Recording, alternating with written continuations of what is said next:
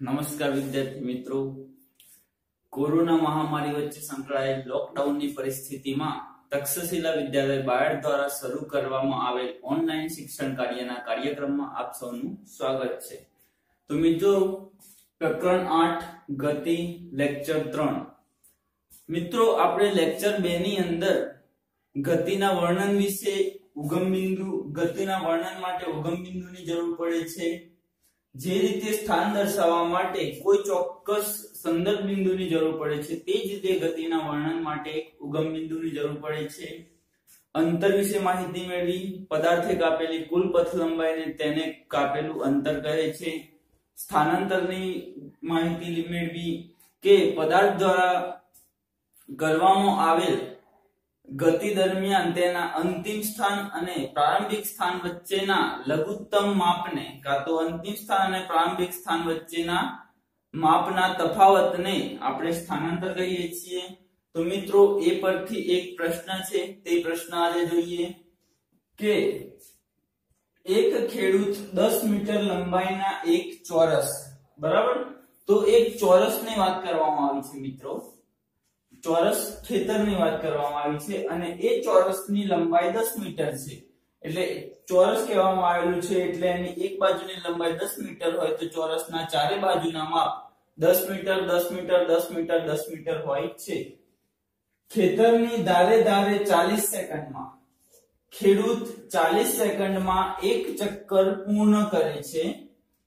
તો મિનિટ વીસ સેકન્ડ બાદ આ ખેડૂતે પ્રારંભિક સ્થાનથી કેટલું સ્થાનાંતર કર્યું હશે? તો મિત્રો, ખેડૂત દસ મીટર લંબાઈના એક ચોરસ ખેતરની ધારે ધારે ચાલીસ સેકન્ડમાં એક ચક્કર પૂર્ણ કરે છે, તો બે મિનિટ વીસ સેકન્ડ બાદ આ ખેડૂતે કેટલું સ્થાનાંતર કર્યું હશે? તો મિત્રો, ચલો જાણીએ. ધારો કે એક ચોરસ ખેતર કે જેની લંબાઈ દસ મીટર છે, જે ચોરસ એબીસીડી દ્વારા દર્શાવાયેલ છે તો અહીં તમે એક ચોરસ જોઈ શકો છો. ચોરસ એ બી સી ડી ચોરસ છે એટલે તેની દરેક બાજુના માપ સરખા છે, દસ મીટર.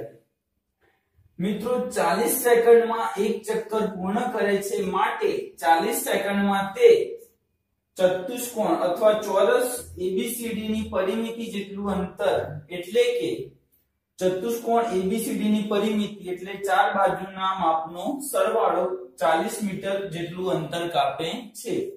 તો ખેડૂત 40 સેકન્ડની અંદર 40 મીટર જેટલું અંતર કાપે છે.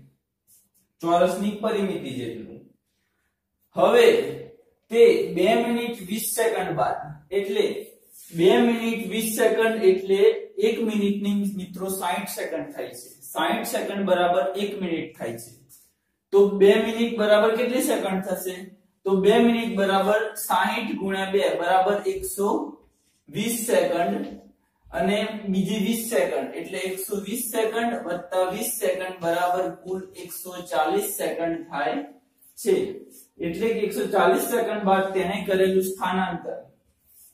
જો ખેડૂત એ સ્થાનથી ગતિની શરૂઆત કરતો હોય જો ખેડૂત સ્થાન A થી ગતિની શરૂઆત કરતો હોય, તો 140 સેકન્ડ બાદ ત્રણ ચક્કર પૂર્ણ કરશે અને એક અડધું ચક્કર પૂર્ણ કરશે. તો 140 સેકન્ડ બાદ મિત્રો, આ ખેડૂત ત્રણ ચક્કર, બે, ત્રણ સેકન્ડ, ત્રણ ચક્કર પૂરા કરશે અને એક અડધું ચક્કર પૂરું કરશે. એટલે કે સી સુધી તે સ્થાનાંતર કરશે. એટલે કે તે તે ચોરસના વિકર્ણનું, જો મિત્રો તેને કાપેલું કુલ અંતર શોધવામાં આવે, તો 140 ગુણ્યા 3 એટલે કે 140 ગુણ્યા 3 પરિમિતિ. 40 ગુણ્યા 3 એટલે 120 મીટર વત્તા ઉપર એને 20 સેકન્ડમાં કાપેલું અંતર 20 મીટર. તો 140 સેકન્ડની અંતર તેને કાપેલું અંતર પૂછવામાં આવે, તો કુલ અંતર થશે 140 મીટર પરંતુ આપણે અહીં કીધું છે સ્થાનાંતર તો સ્થાનાંતર પ્રારંભિક અને અંતિમ સ્થાન વચ્ચેના લઘુત્તમ માપને તો આ મિત્રો અંતિમ સ્થાન વચ્ચેનું લઘુત્તમ માપ એટલે કે ચોરસ એબીસીડી ના વિકર્ણ જેટલું થશે।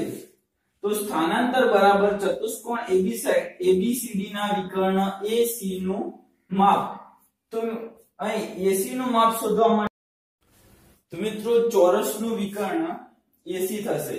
તો સ્થાનાંતર બરાબર ચતુષ્કોણ, ચોરસ એબીસીડી ના વિકર્ણ એસી નું માપ તો વિકર્ણ એસી શોધવા માટે મિત્રો તમને પાયથાગોરસનો પ્રમેય ધોરણ 10 ની અંદર યાદ આવતો હશે કે કાટકોણ ત્રિકોણની અંદર કર્ણનું માપ શોધવા માટે, કર્ણનું માપ શોધવા માટે વપરાતું હતું પાયથાગોરસનો પ્રમેય. તો એ પાયથાગોરસ પ્રમેયનું સ્ટેટમેન્ટ એમ કહે છે કે કર્ણનું માપ જો શોધવું હોય તો કર્ણના માપના સરવાળો બરાબર અન્ય બે બાજુઓના માપના વર્ગનો સરવાળો. કર્ણનો વર્ગ બરાબર અન્ય બે બાજુઓના માપના વર્ગનો સરવાળો. તો આ ચોરસ માટે કાટકોણ ત્રિકોણ ABC માં AC વિકર્ણ માટે અન્ય બે બાજુ AB AB નો વર્ગ વત્તા BC BC નો વર્ગ. 10 નો વર્ગ વત્તા 10 નો વર્ગ. 100 વત્તા 100 બરાબર એસી નો વર્ગ બરાબર બસો, એટલે કે સો ગુણ્યા બે. જો મિત્રો અહીંથી મારે વર્ગ કાઢવો હોય, તો આ જે વસ્તુ છે એ મારે રૂટની અંદર લખવી પડે. બરાબર? તો રૂટ કાઢવામાં આવશે. જો બસો નો રૂટ કાઢવામાં આવશે, તો આપણને ખ્યાલ આવશે કે બસો બરાબર સો ગુણ્યા 2 તો મિત્રો, આ બંનેની અંદર પૂર્ણ વર્ગ સંખ્યા કઈ હશે? તો 100 અને પૂર્ણ વર્ગ ના હોય તેવી સંખ્યા 2 તો આપણે 100 નું વર્ગમૂળ કાઢી શકીએ છીએ. તો 100 નું વર્ગમૂળ 10 અને 2 નું વર્ગમૂળ કાઢી શકતા નથી, એટલે 2 નું વર્ગમૂળ 2 એટલે AC બરાબર દસ વર્ગમૂળમાં 2 મીટર. તો ખેડૂતે કરેલું સ્થાનાંતરનું મૂલ્ય 10 વર્ગમૂળમાં 2 મીટર થાય છે. 2 નું વર્ગમૂળ આપણે કાઢી શકીએ છીએ 1.4142 પરંતુ અત્યારે મિત્રો આપણે દશાંશ સ્થાન લખવાની જરૂર નથી, એટલે આપણે દસ વર્ગમૂળમાં બે મીટર લખીશું. હવે મિત્રો તમે ઘરેથી આ ખેતરની અંદર બે મિનિટ અને 20 સેકન્ડની અંદર ખેડૂતે કાપેલું કુલ અંતરનું મૂલ્ય શોધો.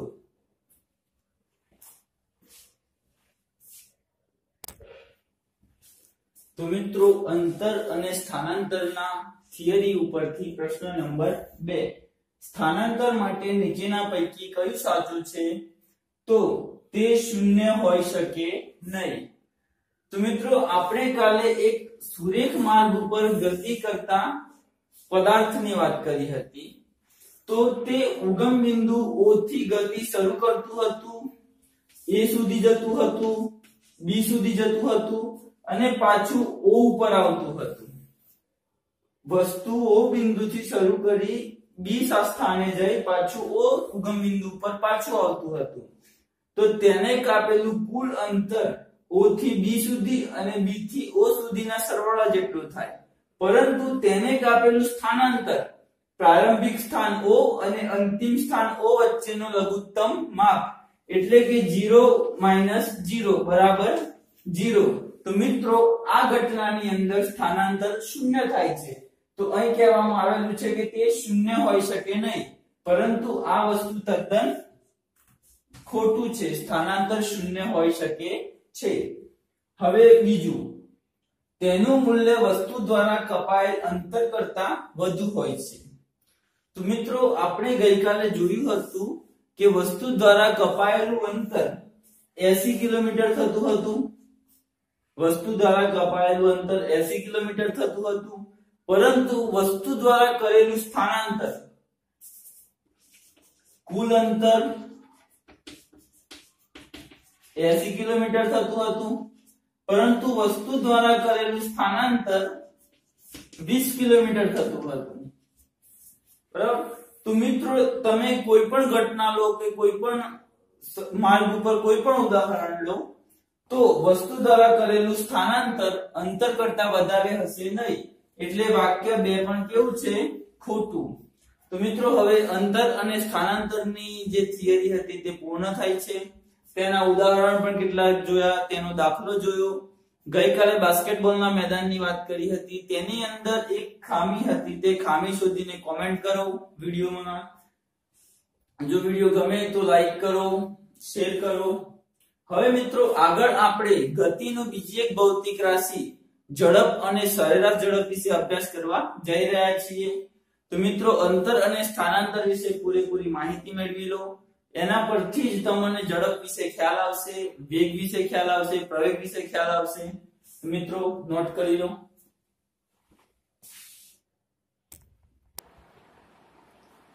તો મિત્રો, આપણે ઝડપની વાત કરવાના હતા, પરંતુ તે પહેલા 8.2 નું બીજો એક મુદ્દો નિયમિત ગતિ અને અનિયમિત ગતિ વિશે માહિતી મેળવવી જરૂરી છે. મિત્રો, આપણે શરૂઆતનો પ્રસ્તાવના લેક્ચરની અંદર આપણે વાત કરી હતી કે કોઈ પણ વસ્તુ પદાર્થની બે અવસ્થાઓ છે. એક સ્થિર અવસ્થા હતી અને એક ગતિની અવસ્થા હતી. ગતિની અવસ્થાના ત્રણ પ્રકાર હતા. સુરેખ ગતિ, વર્તુળાકાર ગતિ અને આવર્તનીય ગતિ. તો સુરેખ ગતિના બે પ્રકાર હતા. આપણે નિયમિત ગતિ અને અનિયમિત ગતિ. તો મિત્રો, તમે અમુક વાર જોયું હશે કે તમે ખુલ્લા માર્ગ ઉપર જતા હોવ છો, તો સદંતર એક ધારી સ્પીડ ઉપર જતા હોવ છો. બરાબર? ચોક્કસ સમયગાળાની અંદર ચોક્કસ અંતર કાપતા હોવ છો. પરંતુ જો કોઈ જગ્યાએ ભીડભાડ હોય, તો તમે 60 ની સ્પીડે નથી કાઢી શકતા. ત્યાં તમારે અમુક વાર ધીમી કરવી પડતી હોય છે. અમુક વાર ગતિની વધારે પડતી હોય છે.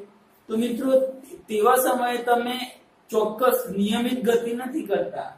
તો અહીંયા આપણે જોઈએ નિયમિત ગતિ અને અનિયમિત ગતિ. તો તમે અહીં આકૃતિ જોઈ શકો છો. એક કાર છે, તે સુરેખ પથ ઉપર ગતિ કરે છે. એક કાર સુરેખ પથ ઉપર ગતિ કરે છે. તે સંદર્ભ બિંદુ એ એટલે ઉગમ બિંદુ એ થી ગતિની શરૂઆત કરે છે.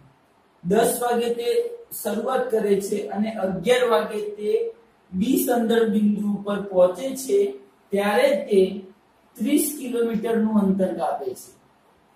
એ થી બી સુધી જાય છે, ત્યારે તે 30 કિલોમીટરનું અંતર કાપે છે. પછી બાર વાગે બાર વાગે તે બીજું 30 કિલોમીટરનું અંતર કાપે છે. પછી બારથી 1 1 વાગે તે બી સંદર્ભ બિંદુ ઉપર જાય છે, એ વખતે તે 30 કિલોમીટર અંતર કાપે છે. તો મિત્રો તમે જોઈ શકો છો કે કાર 10 થી 11 એટલે 1 કલાક 11 થી 12 એટલે 1 કલાક 12 થી 1 એટલે 1 કલાક. તો મિત્રો, કાર 1 કલાકની અંદર 30 કિલોમીટર 1 કલાકમાં 30 કિલોમીટર એમ સમાન સમયગાળાની અંદર સમાન અંતર કાપે છે. તો તમે કહી શકો કે જ્યારે કોઈ પદાર્થ સમાન સમયગાળામાં સમાન અંતર કાપતો હોય તો તે નિયમિત ગતિ યુનિફોર્મ મોશન કરે છે તેમ કહેવાય. તો મિત્રો, તમે નિયમિત ગતિ વિશે સમજી ગયા હશો. હવે, ધારો કે આ કાર છે, તે 10 થી 11 વાગે, એટલે 1 કલાકની અંદર 30 ની જગ્યાએ 50 કિલોમીટર અંતર કાપે છે. 30 ની જગ્યાએ 50 કિલોમીટર અંતર કાપે છે. ગતિશીલ એક પથ ઉપર કરે છે, પરંતુ ભીડભાડ ત્યાં એકદમ નહીવત છે અને હાઈવે છે. એટલે 11 12 વાગ્યાની વચ્ચે તે 30 કિલોમીટરની જગ્યાએ વીસ કિલોમીટરનું અંતર કાપે છે. પછી બારથી એક સમયગાળાની અંદર 30 ની જગ્યાએ 70 કિલોમીટર અંતર કાપે છે. તો તમે કહી શકો, જોઈ શકો છો કે એક કલાકની અંદર 50 1 કલાકની અંદર વીસ, એક કલાકની અંદર 70 એમ. સમાન સમયગાળામાં. એટલે સમયગાળો સમાન છે. પણ અંતર કેવું છે? અલગ અલગ કાર દ્વારા કપાયેલું અંતર અસમાન છે. તો જ્યારે કોઈ પદાર્થ સમાન સમયગાળામાં અસમાન અંતર કાપતો હોય, તો કહી શકાય કે તે અનિયમિત ગતિ કરે છે નોન યુનિફોર્મ મોશન કરે છે. તો નિયમિત ગતિ, અનિયમિત ગતિની વ્યાખ્યા જોઈ. આકૃતિ પરથી ઉદાહરણ સમજ્યા. હવે તે મુદ્દાની એક પ્રવૃત્તિ છે, પ્રવૃત્તિ 8.5 કે બે વસ્તુ A અને B ગતિ ગતિ કરે છે. વસ્તુ A અને વસ્તુ B બંને ગતિ કરે છે. અને તેના સંબંધિત કેટલી માહિતી આપેલી છે, તે માહિતી પરથી આપણે નક્કી કરવાનું છે કે વસ્તુ A નિયમિત ગતિ કરે છે કે વસ્તુ B નિયમિત ગતિ કરે છે. તો મિત્રો, તમે આ સમય જોઈ શકો છો કોષ્ટકની અંદર. વસ્તુ A દ્વારા કપાયેલું અંતર જોઈ શકો છો. અને વસ્તુ B દ્વારા કપાયેલું અંતર. તો મિત્રો તમે જોઈ શકો છો કે સમયગાળો કેટલો છે? 9:30 થી 9:45 એટલે ગેપ કેટલી છે? 15 મિનિટની. બે સમય વચ્ચે ગેપ કેટલી છે? 15 મિનિટની. નવ પિસ્તાલીસથી દસ વાગ્યા સુધી કેટલી ગેપ છે? પંદર મિનિટ. 10 થી દસ પંદરમાં પંદર મિનિટ. તો તમે જોઈ શકો છો કે સમયગાળો સમાન છે દરેક સમય વચ્ચે, પંદર મિનિટનો. હવે વસ્તુ એ દ્વારા કપાયેલું અંતર. તો નવ, ત્રીસે વસ્તુ ગતિ કરવાની શરૂ કરી તેને દસ મીટર અંતર કાપ્યું. પંદર મિનિટની અંદર દસ મીટર અંતર કાપ્યું. હવે બીજી પંદર મિનિટની અંદર તેને દસ વીસ એટલે દસ મીટર. વીસથી ત્રીસ, બીજી પંદર મિનિટમાં એને દસ મીટર. ત્રીસથી ચાલીસ, દસ મીટર. તો તમે જોઈ શકો છો કે વસ્તુએ સમાન સમયગાળાની અંદર પંદર મિનિટની અંદર 10 10 મીટર સમાન અંતર કાપતું હોય છે. તે જ રીતે વસ્તુ બી 12 12 મીટરથી ગતિ શરૂ કરે છે, નવ ત્રીસે અને 9 ને પિસ્તાલીસે તે સાત મીટરનું અંતર કાપે છે. પછી ઓગણીસથી ત્રેવીસ એટલે કે તે બીજું ચાર મીટરનું અંતર કાપે છે. ત્રેવીસથી પાંત્રીસ એટલે કે તે બીજું બાર મીટરનું અંતર કાપે છે. તો તમે જોઈ શકો છો કે વસ્તુએ સમાન સમયગાળાની અંદર સમાન અંતર કાપે છે દસ મીટર. પરંતુ વસ્તુ બી સમાન સમયગાળાની અંદર અસમાન અંતર કાપે છે. તો આ પરથી તમે કહી શકો કે વસ્તુ એ કેવી ગતિ કરે છે? નિયમિત ગતિ. તે જ પ્રમાણે વસ્તુ બી કેવી ગતિ કરે છે? અનિયમિત ગતિ. તો મિત્રો, આ હતી પ્રવૃત્તિ નિયમિત ગતિ અને અનિયમિત ગતિ માટેની. તો હવે આગળ આપણે લેક્ચર 4 ની અંદર ઝડપ વિશે માહિતી મેળવીશું, સરેરાશ ઝડપ વિશે માહિતી મેળવીશું, તેના સૂત્રો પણ જોઈશું. તો મિત્રો, તમે નિયમિત ગતિ અને અનિયમિત ગતિના ઉદાહરણ પરથી સમજી ગયા હશો કે કઈ વસ્તુ કઈ પ્રકારની ગતિ કરે છે. ભીડભાડ વાળી જગ્યા ઉપર કયા પ્રકારની ગતિ થાય છે અને ખુલ્લી જગ્યા ઉપર કયા પ્રકારની ગતિ થાય છે. તો એ મિત્રો તમે જાતે અભ્યાસ કરો અને જણાવો કે નિયમિત ગતિ કઈ કઈ જગ્યાએ થાય છે, અનિયમિત ગતિ કઈ કઈ જગ્યાએ થાય છે. તો મિત્રો, આ હતું આપણું લેક્ચર ત્રણ. હવે આગળ જોઈએ લેક્ચર 4